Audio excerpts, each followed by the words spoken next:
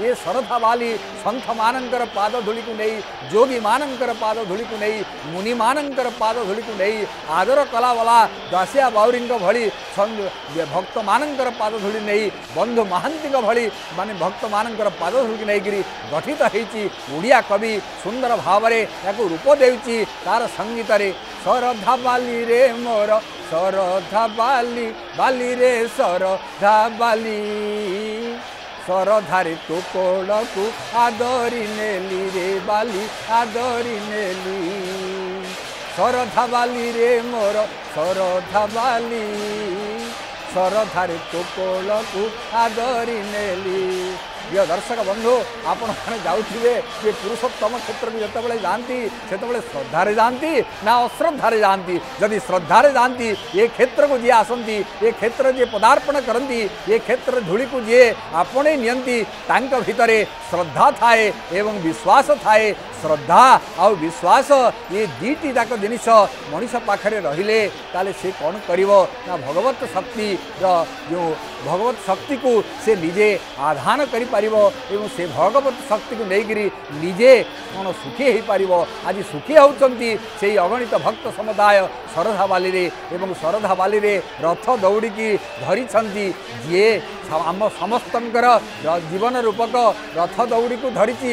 ଆଜି ଏ ଅପୂର୍ବ ଲୀଳା ତାର ରଥ ଦୌଡ଼ିକି ଧରି ସମସ୍ତ ଜୀବନ କି ଆନନ୍ଦିତ ହେଉଛନ୍ତି କି କୋଳାହଳରେ ପରି ପରିପୂର୍ଣ୍ଣ ହେଇ ଉଠୁଛି ଏଇ ଶରଧା ବାଲି ତୋକଳରେ ପରା ধূলি খেলুলে টকলৰে পৰা ধূলি খেলুলে নন্দ পুৱ কলা কানু সুদামা সুবল সঙ্গী মেলে গীত সুদামা সুবল সঙ্গী মেলে গীত গাউলে ধরবে নো প্রেম মরি রাজি পাদ চিহ্ন ধরি ପ୍ରେମ ମଜି ରାଜି ପାଦ ଚିହ୍ନ ଧରି ପବିତ୍ର ହୋଇଛି ଏ ଦାଣ୍ଡ ଧୂଳିରେ ବାଲି ଏ ଦାଣ୍ଡ ଧୂଳି ଶରଧା ବାଲିରେ ମୋର ଶରଧା ବାଲି ବାଲିରେ ଶରଧା ବାଲି ଶରଧାରେ ତୋ କୋଳକୁ ଆଦରି ନେଲି କାମ୍ପିଲ ବାସିନୀ ମା ସୁଭଦ୍ରିକାଙ୍କର ରଥ ଆଜି ଦୃଷ୍ଟିଗୋଚର ହେଉଛନ୍ତି ବଡ଼ବାଡ଼ ଶାନ୍ତ ବଳଭଦ୍ର ପ୍ରବନ୍ମଗ୍ନ ବଳଦେବ ଚିତାଗ୍ରଜ ରେବତୀ ରମଣ ରାମ କାମପାଳ ହଳାୟୁଧ ସେ ହଳାୟୁଧଙ୍କର ରଥ ଆଜି ଆମର ସନ୍ଦର୍ଶନ ହେଉଛି କୋଟି କୋଟି ଭକ୍ତମାନଙ୍କର ଆଖି ସେଇ ଆଖି ଭିତରେ ରହିଯାଇଛି ତେଣୁ ଏ ସିଏ ହିଁ ସତ୍ୟ ସେ ବ୍ରହ୍ମ ସତ୍ୟମ୍ ଜଗନ ମିଥ୍ୟା ଜୀବ ବ୍ରହ୍ମେବ ନାପର ଏହା ହେଉଛି ବେଦାନ୍ତ ଦର୍ଶନର ସର୍ବଶ୍ରେଷ୍ଠ ମୂଳ ତତ୍ତ୍ୱ ଏହି ସତ୍ୟଟିକୁ ଜାଣିଦେଲେ ଆଉ କିଛି ସତ୍ୟକୁ ଅନୁସନ୍ଧାନ କରିବାକୁ ପଡ଼େ ନାହିଁ। କାରଣ ସେ ହିଁ ଏକମାତ୍ର ସତ୍ୟ। ତ ଓଡ଼ିଆ କବି ନିରବି ଯାଇନାହିଁ ତାର କବିତା ଭିତରେ ଏହି ମହାପ୍ରଭୁଙ୍କର ଏହି ସତ୍ୟ ରୂପ ତତ୍ତ୍ୱକୁ ଆଜି ପରଶି ଦେବା ପାଇଁ ସେ କ'ଣ କହୁଛନ୍ତି? ସତ୍ୟ ଧର୍ମର ସଂସାର ସହି ସତ୍ୟ ଧର୍ମେ ରହିଛି ମହି ସତ୍ୟ ଲାଗି ନଳ କାଟିଲେ ଘାସ ସତ୍ୟ ଲାଗି ରାମ ବିପିନେ ବାସ ଯେ ସତ୍ୟ ସନାତନ ହରିଜେ ସତ୍ୟ ତ୍ରେତୟା ଦ୍ୱାପର ରହିଛନ୍ତି ସତ୍ୟ ଲାଗି ଅବତରିବେ। ଦର୍ଶକ ବନ୍ଧୁ ଏହି ସତ୍ୟ ତ୍ରେତା ଦ୍ୱାପର କଳି ଏ ସମ୍ପର୍କରେ ଅଷ୍ଟାଦଶ ମହାପୁରାଣ ଶ୍ରୁତିଶାସ୍ତ୍ର ସ୍ମୃତିଶାସ୍ତ୍ର ଯାହା ଯାହା କହନ୍ତି ଆପଣମାନେ ଅନେକ କିଛି ଜାଣିଛନ୍ତି ଏବଂ ଏ ସତ୍ୟ ସନାତନ ସନାତନ ଶବ୍ଦର ଅର୍ଥ କ'ଣ ଯିଏ ଥିଲା ଅଛି ଏବଂ ରହିବ ଯାହାର ବିନାଶ ନାହିଁ ସେ ଆସିତ ଅସ୍ତି ସ୍ଥାସ୍ୟତି ଇତି ସତ୍ ଅର୍ଥାତ୍ ମହାପ୍ରଭୁ ସେ ସତ୍ ସେ ଚିତ୍ ଏବଂ ସେ ଆନନ୍ଦମୟ ଏବଂ ଏଇ ସେଇ ଏ ସତ୍ୟକୁ ଆମେ ଠାବ କରିବାକୁ ପଡ଼ିବ ଏବଂ ଚିତ୍ତରେ ତାଙ୍କୁ ଗ୍ରହଣ କରିବାକୁ ପଡ଼ିବ ଆଉ ଆନନ୍ଦମୟତାକୁ ଆପଣେଇ ନେଇ ନେବାକୁ ପଡ଼ିବ। ଏଇ ତ ହେଉଛି ମହାପ୍ରଭୁଙ୍କର ଲୀଳା ମାଧୁରୀ। ଆଇ ସେଇ ଲୀଳା ମାଧୁରୀ ଭିତରେ ଆଜି ଦେଖୁଛନ୍ତି ଅଗଣିତ ଭକ୍ତ ସେଇ କାମ୍ପିଲ୍ୟ ବାସିନୀ ମା ସୁଭଦ୍ରିକାଙ୍କର ରଥକୁ। ଆହା କି ସୁନ୍ଦର ଭାବରେ ସେଇ ରଥ ରଥ। ଆଗକୁ ଚାଲି ଆସିଛନ୍ତି ଶରଧା ବାଲି। ଆଜି ହସୁଛି ରଥ ହସୁଛି ପଥ ହସୁଛି ରଥି ହସୁଛି ସେବକମାନେ ହସୁଛନ୍ତି ଏବଂ ଅଗଣିତ ଭକ୍ତ ସମୁଦାୟ କନକ ଟେଲିଭିଜନର ଏ ଭବ୍ୟ ପରଦା ଭିତରେ ଆଜି ଭଗବାନଙ୍କୁ ଦେଖି ଯେଉଁମାନେ ଶରଧା ବାଲିକୁ ଆସିନାହାନ୍ତି ଦୁଃଖ କରନ୍ତୁ ନାହିଁ। କାରଣ ଶ୍ରଦ୍ଧାର ବାଲି ଯଦି ଆପଣ ସେଇ ଯେଉଁ ଘର ଭିତରେ ଆପଣଙ୍କ ମନ ମନ ମଧ୍ୟରେ ଶ୍ରଦ୍ଧା ବାଲିକୁ ଟିକିଏ ଶ୍ରଦ୍ଧା ଟିକିଏ ବିଶ୍ୱାସକୁ ନେଇକରି ଶ୍ରଦ୍ଧା ବାଲି ସୃଷ୍ଟି କରି ଦେଇଥା ଦିଅନ୍ତି ନା ତା- ତେବେ ଆପଣଙ୍କୁ ଆଉ ଶ୍ରୀକ୍ଷେତ୍ର ଯିବାକୁ ପଡ଼ିବ ନାହିଁ। ଆପଣମାନେ ଜାଣିଛନ୍ତି ସେଦିନ ବଳରାମ ଦାସଙ୍କର ବାଲି ରଥର କଥା। ଆପଣ ଯେତେବେଳେ ମହାପ୍ରଭୁଙ୍କ ପାଖରେ ଟିକେ ଅଭିମାନ କଲେ ସେବକମାନେ ଏବଂ ବଳରାମ ଦାସଙ୍କୁ ସମ୍ପୂର୍ଣ୍ଣ ଭାବରେ ରଥରୁ ପେଲିଦେଲେ। ଇଏ ଯେଉଁ ଭକ୍ତର ଯେଉଁ ଦୁଃଖ ସେ ଦୁଃଖକୁ ନେଇ କାନ୍ଦି କରି ସେ ଯେତେବେଳେ ସମୁଦ୍ର ପନ୍ତାରେ ସେ ବାଲିଟିଏ ବାଲିର ରଥ ତିଆରି କଲେ ସେ ବାଲିର ରଥ ସେଦିନ ହେଇଯାଇଥିଲା। ସେଇ ଯେଉଁ ନନ୍ଦିଘୋଷ ରଥ ନନ୍ଦିଘୋଷ ରଥରେ ତୁ ଛାଡ଼ିକିରି ମହାପ୍ରଭୁ ସେଦିନ ଭକ୍ତ ବଳରାମ ଦାସ ପାଇଁକି ସେଇ ବାଲି ରଥରେ ବିଜେ କରିଥିଲେ। ଇଏ କଥା ଇଏ ଯେଉଁ ଚିନ୍ତାଧାରା ଇଏ କେବଳ ଏଇ ଉତ୍କଳରେ ସମ୍ଭବ ଜଗନ୍ନାଥୀୟ ଚେତନାରେ ସମ୍ଭବ ଇଏ ତ ମହାପ୍ରଭୁଙ୍କର ଯେଉଁ ଅପୂର୍ବ ଲୀଳା। ଆପଣମାନେ ଜାଣିଛନ୍ତି ଏ ଦାରୁ ବିଗ୍ରହ। ଆଜି ସେ ରଥାରୂଢ଼ ହୋଇ ଆଗକୁ ଆଗକୁ ଚାଲିଛନ୍ତି। ଏ ଗୁଣ୍ଡିଚା ମଣ୍ଡ ମଣ୍ଡପକୁ ଯିବେ। ତେଣୁ ଗୁଣ୍ଡିଚା ମଣ୍ଡପରେ ରହି ଆଗ ଯି- ଯିବା ଦିନେ ଆସିବା ଦିନେ ଏବଂ ମଝିରେ ହେଉଛି ସାତ ଦିନ। ଇଏ ତ ହେଉଛି ଜୀବନ। ଆପଣମାନେ ଜାଣନ୍ତି ଯେ ଯେମିତି ହେଲେ ଯେକୌଣସି ଜୀବର ମୃତ୍ୟୁ ସେ ସାତ ଦିନ ଭିତରେ ହୋଇଥାଏ। ଆଠ ଦିନକୁ ଯାଏ ନାହିଁ। କାରଣ ସାତଟି ହେଉଛି ବାର ଏବଂ ଏ ସାତଟି ବାରକୁ ସୂଚାଇ ଦିଅନ୍ତି ମହାପ୍ରଭୁ ସାତ ଯିବେ ଦିନେ ଆସିବେ ଦିନେ ମାତ୍ର ରହିବେ ସାତ ଦିନ। ତ ସେଇଥିପାଇଁକି ଇଏ ନବଦିନ ଯାତ୍ରା ଏବଂ ଜଗନ୍ନାଥଙ୍କର ଯେଉଁ ଚେତନା ରହିଛି ଜଗନ୍ନାଥଙ୍କର ଯେଉଁ ଦର୍ଶନ ରହିଛି ବିଶ୍ୱରେ ସେ ଚେତନା ସେ ଦର୍ଶନ ସେ ନିଶ୍ଚିତ ଭାବରେ କ'ଣ ହେଉଛି ଅନନ୍ୟ ବର୍ତ୍ତମାନ ରଥ ଉପରେ ଆମେ ଯେଉଁ ଦେଖୁଛୁ ଏ କଳସକୁ ଦେଖୁଛୁ ଦର୍ଶକ ବନ୍ଧୁ ଏ କଳସ ଯେଉଁ ସ୍ଥାପନ କରାଯାଏ ତାହା ଶ୍ରୀମନ୍ଦିର ଉପରେ ଏବଂ ନୀଳଚକ୍ରର ବାନାଙ୍କର ଯେ ନୀଳଚକ୍ରଙ୍କର ଠିକ୍ ତଳେ ଏ ଯେଉଁ କଳସ ରଥ ଉପରେ ମଧ୍ୟ ଅନୁରୂପ ଭାବେ ସେମିତି କଳସ ରହିଛନ୍ତି ଦୁଇଟି ଓଲଟ ଶୁଆ ରହିଛନ୍ତି ଗୋଟିଏ ହେଲେ ଜୀବ ଆଉ ଗୋଟିଏ ହେଲେ ପରମ ଗୋଟିଏ ହେଲେ ଶ୍ରୁତି ଆଉ ଗୋଟିଏ ହେଉଛି ସ୍ମୃତି ଏବଂ ଇଏ ହେଉଛି ଉତ୍କଳୀୟର ଉତ୍କଳୀୟ ଠାକୁରର ଗରିମା ଉତ୍କଳୀୟ ଶାସ୍ତ୍ରକାରମାନଙ୍କର ଗରିମା।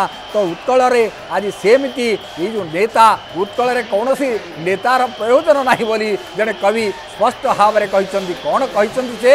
ଉତ୍କଳେ ନେତାର नाही प्रयोजन उत्कळर नेता स्वयं नारायण ଉତ୍କଳେ ନେତାର ପ୍ରୟୋଜନ ନାହିଁ ଆପଣମାନେ ଗତକାଲି ସନ୍ଦର୍ଶନ କରିଥିବେ ମହାମହିମ ରାଷ୍ଟ୍ରପତି ସେ ମଧ୍ୟ ଚାଲି ଆସିଥିଲେ ମୁଖ୍ୟମନ୍ତ୍ରୀ ସେ ମଧ୍ୟ ଆସିଥିଲେ ଯେତେ ଯେତେ ମନ୍ତ୍ରୀମାନେ ଅଛନ୍ତି ଯେତେ ଯେତେ ନେତାମାନେ ଅଛନ୍ତି ସେ ସମସ୍ତେ ଆଜି ମହାପ୍ରଭୁଙ୍କର ଚରଣାର ବିନ୍ଦରେ ସେଇ ଯେଉଁ କଞ୍ଜ ଚରଣରେ ନିଜକୁ ଢାଳି ଦେଇକିରି ନିଉଛାଳି ହେଇଛନ୍ତି ଆପଣମାନେ ସନ୍ଦର୍ଶନ କରିଛନ୍ତି ନିଶ୍ଚିତ ଭାବରେ ଯେଉଁ ଗଜପତି ମହାରାଜା ଲକ୍ଷେ ରାଜାଙ୍କର ଯେଉଁ ମୌଡ଼ମଣି ସେ ମଧ୍ୟ ଆଜି ଛେରା ପହଁରା କରି ଗତକାଲି ରଥ ଚଳିବାର ଯେଉଁ ଶୁଭାରମ୍ଭ କରିଥିଲେ ଶ୍ରୀ ଗଣେଶ ପର୍ବ କରିଥିଲେ ଆହା ଘଣ୍ଟୁଆ ମାନଙ୍କର ଯେଉଁ ଘଣ୍ଟ ନିନାଦ ବାଦ୍ୟକାରମାନଙ୍କର ଯେଉଁ ବାଦ୍ୟର ସ୍ୱର ଏବଂ ହରିବୋଲ ହୁଳହୁଳି ପ୍ରକମ୍ପିତ ହେଉଛି ଆଜି ଏ ଶରଧାବାଲି ଏବଂ ଏ ଶରଧାବାଲି ଭିତରେ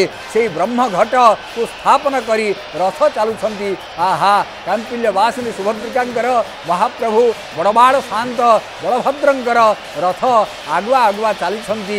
ଜନ୍ମବେଦୀ ଆଡ଼କୁ ଆଜି ଗୁଣ୍ଡିଚା ମନ୍ଦିର ଆଡ଼କୁ ମାଉସୀ ମାର ଜନ୍ମବେଦୀର ଯେଉଁ ଆକର୍ଷଣ ସେ ଆକର୍ଷଣକୁ କେହି ବିକର୍ଷଣରେ ପରିବର୍ତ୍ତନ କରିପାରିବେ କରିପାରିବେ ନାହିଁ।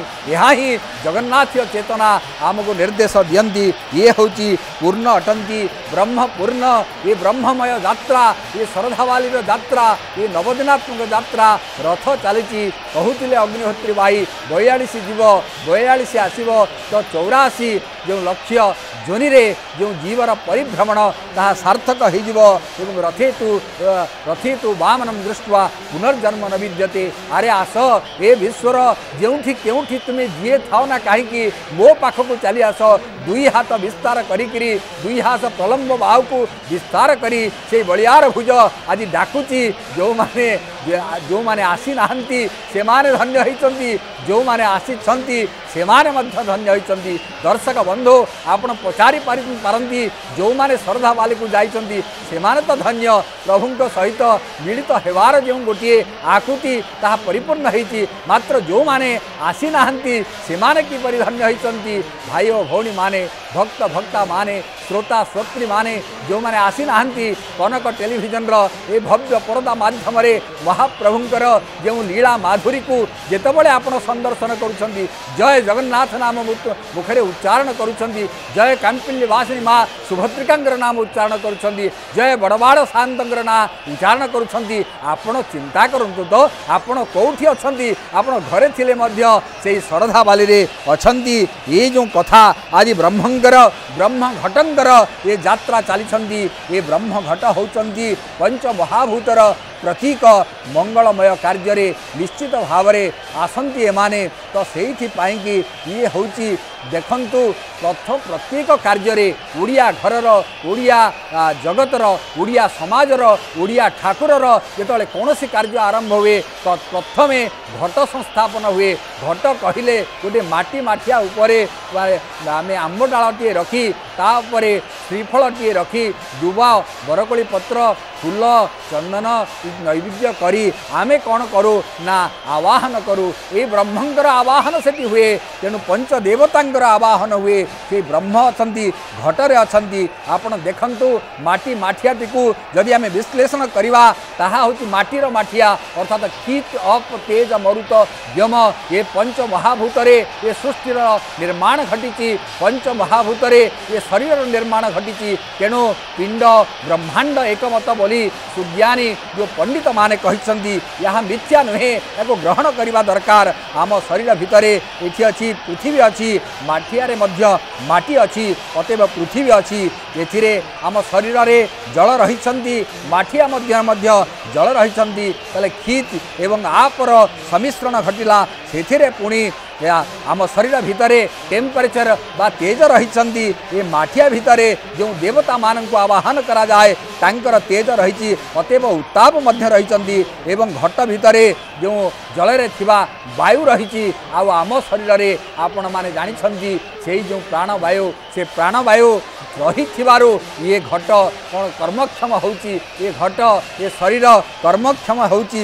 ଯଦି ସେ ପ୍ରାଣବାୟୁ ନ ରହିବ ତେବେ ଏହା କର୍ମକ୍ଷମ ହୋଇପାରିବ ନାହିଁ। ତେଣୁ କ୍ଷିତ୍ ଅପ୍ ତେଜ ମରୁତ ବ୍ୟମ ଏ ଘଟରେ ଯେମିତି ରହିଛନ୍ତି ଏ ସେଥିରେ ଏମିତି ଶରୀରରେ ମଧ୍ୟ ରହିଛନ୍ତି ତେଣୁ ଆକାଶ ମଧ୍ୟ ବ୍ୟମ ଅଟେ।